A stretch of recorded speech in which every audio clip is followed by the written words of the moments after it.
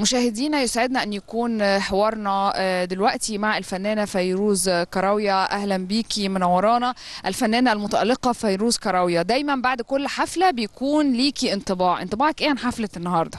آه، في جو معين لرمضان وطبعا هنا المكان كمان آه، لأنه مكان تراثي وكده فبيبقى ليه طبيعة فعلا فيها ألفة كده إنك شايف الناس وقاعد حاسس إنك وسطيهم في مسارح بتبقى أحيانا ضلمة شوية وليها ستايل تاني. فلا النهارده ميزته إن أنت كده قاعد حاسس بنبض الناس حواليك بالظبط يعني وتفاعلهم على كل حاجة. وإحنا داخل قصر الأمير طاز ومكان أثري جميل زي ده آه، إيه الإحساس اللي اداهولك المكان؟ إحنا already مختارين النهارده حاجات فيها مود شعبي فعلا وفي أغاني شعبي يعني صرف وفي أغاني ليها طابع شوية فولكلوري فاحنا كمان ال program بتاعنا كان بيتهيألي لايق على على المكان وعلى المود وعلى رمضان. بمناسبة بقى طابع الفولكلور يعني الفنانة فيروز كراوية مشهورة بأن أغانيها بسيطة آه، أغانيها فيها حدوتة. بتتحكي فلو هتصنفي هذا النوع من الغناء توصفيه بإيه؟ غناء فيروز كراوية توصفيه بإيه؟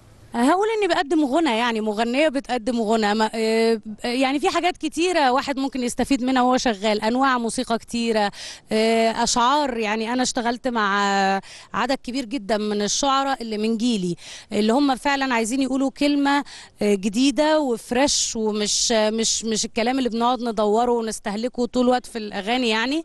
فإحنا عايزين نحكي عن حياتنا من الآخر يعني. فأنا طول الوقت في حالة بحث عن إيه اللي ممكن يلمس بجد المستمع اللي قاعد قدامي والأسلوب الموسيقي كمان آه، كل شوية بحب إنه ياخد أشكال متنوعة. يعني ما أحبش إنه يتقال إنه أنا باخد من منطقة واحدة. آه، المزيكا ملهاش حدود وملهاش وطن يعني.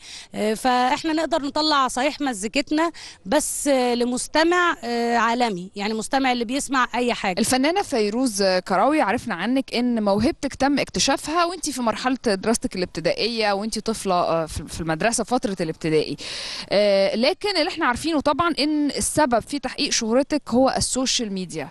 هل شايفة إن ال social media حقق يعني حقق طموحك في آه، الشهرة وال وال والانتشار؟ أنا ما عنديش أي عيلة فنية ولا في تاريخ في عيلتي لحد ليه علاقة بالمجال الفني خالص.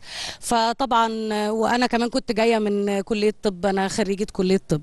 ف already دخلت الفن يعتبر متأخر شوية يعني. فما ما عنديش واسطة يعني من الآخر. آه إنما يعني أنا بشتغل بقالي عشر سنين بانتظام عمري ما ما فات يوم ما اشتغلتش فيه. ال social media دي ادتنا آه أداة آه، إن إحنا نبقى كلنا فنانين بنعرض اللي عندنا والجمهور هو صاحب الكلمة أو هو صاحب الاختيار يعلي مين ويقلل مين وهكذا يعني. فدي طبعا من حسن الحظ لكن إنه إحنا كمان بنشوف إنه كجيل يعني الجيل اللي أنا اشتغلت وسطيه إحنا بجد ما حدش مدلنا إيد يعني. لا حد مدلنا إيد في الإعلام ولا في التعليم التعليم الموسيقي قصدي يعني ولا في المساندة بشكل عام. آه، ده ده يعني اللي يقول كده يبقى بيزايد علينا يعني. لكن الحمد لله إنه في طريق تاني موجود ودلوقتي كمان بقى في إعلام يعني متنوع برضو وبقى في إعلام آه، مواقع و websites وبقى في قنوات تلفزيونية بتهتم أكتر من الأول. فالحمد لله يعني ده بيقول إنك في النهاية لما تشتغل يعني في نتيجة في النهاية الحمد لله.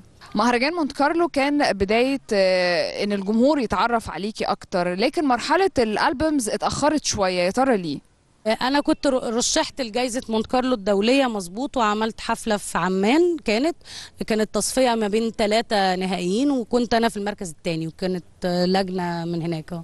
في نهاية لقائنا آه، نورتينا وبشكرك آه، في آه، ليالي تن ميرسي قوي شكرا